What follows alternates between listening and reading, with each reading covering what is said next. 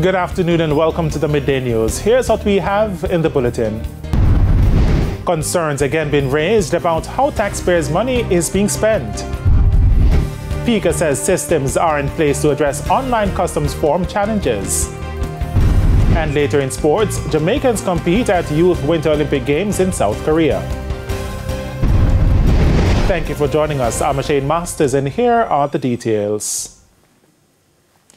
The Passport Immigration and Citizenship Agency is asserting that mechanisms are in place and the country's two major airports to assist travelers who encounter challenges completing their online immigration Custom 5 form prior to boarding their flights to Jamaica. More in this report. It's been more than three months since the online C5 immigration customs form was implemented. During the earlier stages, there were several complaints about the platform. But according to CEO at Passport Immigration and Customs Agency Andrew Winter, those issues are a thing of the past. We have been working very closely with the airlines. Currently, it's around 71% compliance because we have to work closely with the airlines to encourage them to have the passengers complete it. Many persons are unaware that up to 90 days before you travel, you can actually complete it and submit it online. So you can do it even before you leave Jamaica. So when you're coming back, you, you have already submitted and taken, that's one less thing to deal with. Thousands of unsuspecting visitors to Jamaica were lured into paying thousands of dollars by third party websites after accessing and completing the form on behalf of the passengers. Mr. Winter again cautioned the public against swindlers while pointing to the country's secure site. I'd like to emphasize go on www.enterjamaica.gov.jm. That is the site you're to go on right? And it's free. The agency says since the rollout, close to 900,000 applications were submitted. But as the agency moves rapidly into its digital transformation, reports of travelers encountering challenges prior to boarding their flights to Jamaica. We have um, tablets at the airport, we have customer service persons who are assisting the passengers who you say are not tech savvy and they can they will guide them through the process with the tablets. Kerry-Ann Simpson, TVJ News. The Jamaica Accountability Meter portal JAMP views as worrying the revelation that some government ministries have been unable to properly account for trillions spent over a 10 year period. Executive Director Jeanette Calder says the permanent secretaries must be called to answer. How was the money spent? That's the trillion dollar question being asked by Auditor General Pamela Monroe Ellis. In a Gleaner article, it was revealed that the Auditor General's department is being hindered from independently assessing how more than $1.6 trillion was utilized between two ministries and the Office of the Prime Minister, OPM. Those ministries are the Education and Health ministries. Mrs. Monroe Ellis noted that for nine fiscal years, spanning 2012 2013, to 2018-19 and 2021-2022 to 2022-23, Parliament approved $902 billion, representing 13.7% of the national budget, to manage and administer public education in Jamaica. However, no appropriation account was done. It was a similar case for the Health Ministry, which Parliament had approved $695 billion to. The Auditor General said the accounting officer in the ministry submitted 15 of the 22 appropriation accounts for financial years 2013-2014 to 2022-23, but those did not meet the standards for submission. As for the Office of the Prime Minister, three appropriation accounts representing an accumulated budgetary allocation of approximately 12.02 billion are outstanding.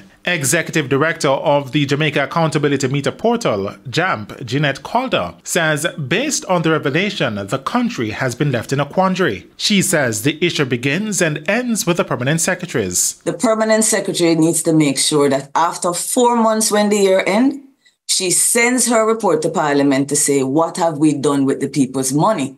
All right. When that don't happen, Delia, who's supposed to come and say, what are going the people who get the report. Yes. Who are those? Are parliamentarians. So we have parliamentarians, for example, the Ministry of Health, for 10 years has not told our parliamentarians, told our Auditor General what they have done with our money. How much money we're talking about? Just a little bit under 700 billion dollars. And that is a report that they have gotten every year for the last 10 years till it add up to 700, and $700 billion. What is the work our parliamentarians are doing for us? She says what needs to be done is for citizens to understand the accountability framework because only then will people be truly held accountable for the crisis facing the country. Who do we call for? The first time something goes wrong. The minister. minister. Mm. Gentle folks, Which there are right. seven. There, no, no, no, Simone, that's the thing. There are 17 people in government with more teeth than a minister to sanction and to yes. hold people to account. Yes. We don't know them things, Delia. Mm. So when these things go wrong, who we call? The political representative who in the law has the least amount of power to do something about sanctioning and holding people to account. Councillor for the Morant Bay Division in St. Thomas, Ron Bryan, is calling for the Church Corner landfill to be relocated before the completion of the multi-billion dollar Morant Bay Urban Centre. His appeal comes as firefighters battered another blaze at the facility late Sunday into Monday morning. Communities around the landfill have been affected by the resultant smoke nuisance. In an interview with TVJ News, Mr. Bryan questioned what had become of plans to relocate the we dump. We came up with several ideas, and the main one was to remove the dump from where it's at right now. Because we're going through so much with it. We have made several proposals in removing the dump, and it seems as if it fall on, on deaf ears. Now we are here at it again now, as you can see, it's blazing up. Now look at this now. We have a new town centre coming in.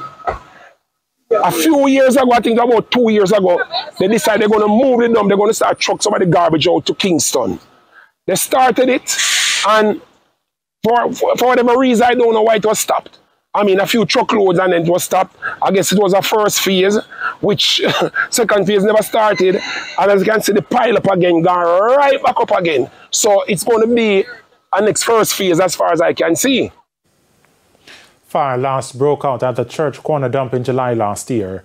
At a meeting of the Standing Finance Committee in March 2020, local government minister Desmond McKenzie said the National Solid Waste Management Authority had paid a deposit on the land to which the church corner dump would be relocated, adding that negotiations to conclude the purchase were well advanced. The Hilary session of the St. Ann Circuit Court opened on Monday with the usual parade by members of the Jamaica Constabulary Force, JCF. The Circuit Court will be hearing a total of 261 cases for the term. Topping the list, gun court matters with 73 cases awaiting trial. 64 cases of offenses of sexual nature will be heard. Murder cases are third, 45 cases, and 79 other cases are scheduled to stand trial.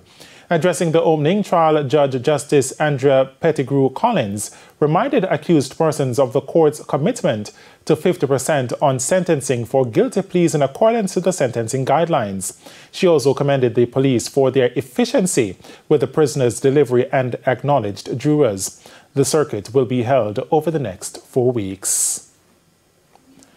Mayor of Port Maria, Richard Creary, continues to blast the Jamaica Public Service Company, JPS, over non-functioning streetlights. Speaking at the recent municipal corporation meeting, the mayor accused the JPS of scamming the government. Mr. Creary says of the 2,000 streetlights in the parish, 500 are not working. These streetlights work on a flat rate. They don't have a meter attached to them. So let us say for argument's sake it is a million dollars for the 2,000 lights. If 500 not working, we should not be paying a million, we should be paying 750,000. But the government every month will pay a million dollars. So it is not in the interest of JPS to fix these lights. The, the, the, the, more lights not working is the more money JPS makes because they don't they don't have to use any electricity to provide light for those street lights. The mayor says the situation worsened between last year into this year. Although JPS is in the parish, they have sent me a list of lights they have repaired. There are some councillors are here and will tell you that what, what they have done, what I have noticed that they have done. You report five lights in an area, they go in there and fix one. So it's almost as if they just, okay, you, you can't say we never fix any because we fix one. That's ridiculous. Right? So we are hopeful that the ministry will take our request seriously and then I will guarantee that you will see a difference in terms of the service that, that JPS is providing to the citizens. And it's time for a break here on the Midday News. Stay with us, more stories when we return.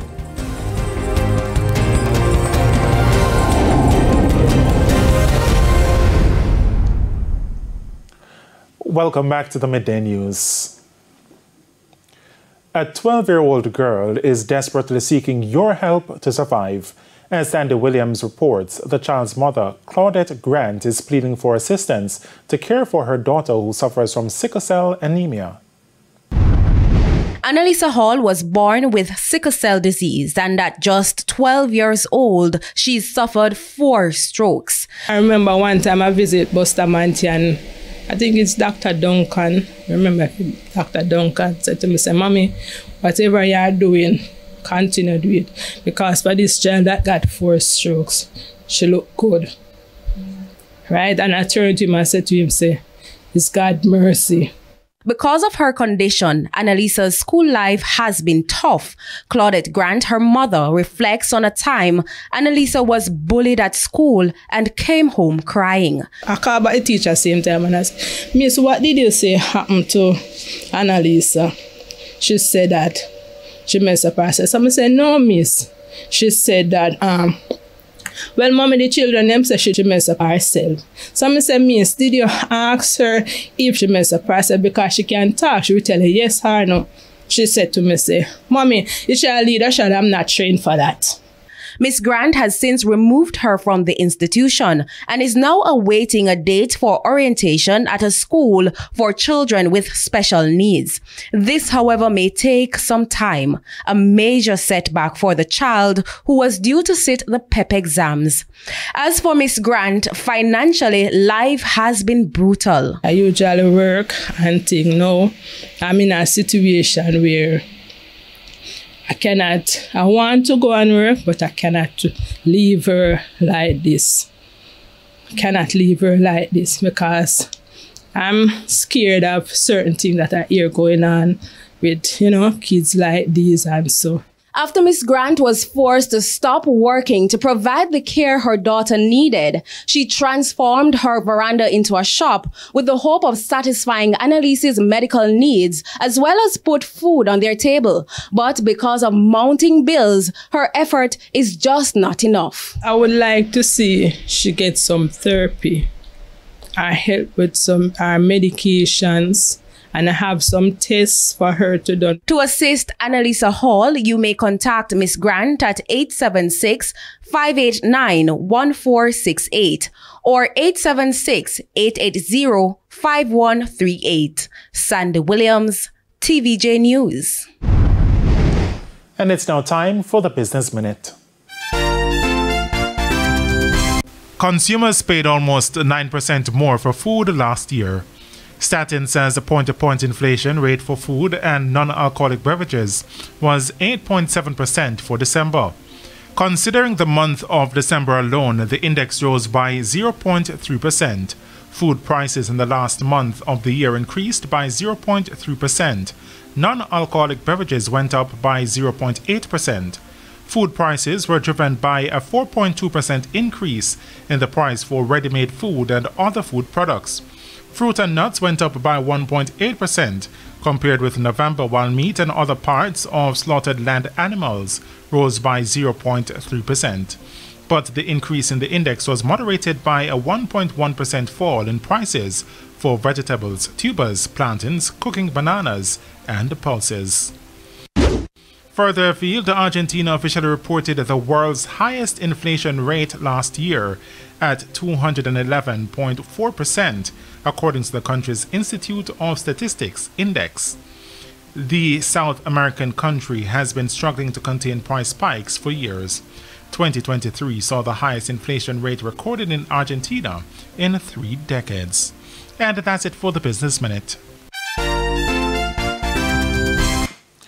Time now for the top regional and international story. Thanks, Kalisha. And we head to a quick break. When we come back, Jermaine Brown will have your midday sports report.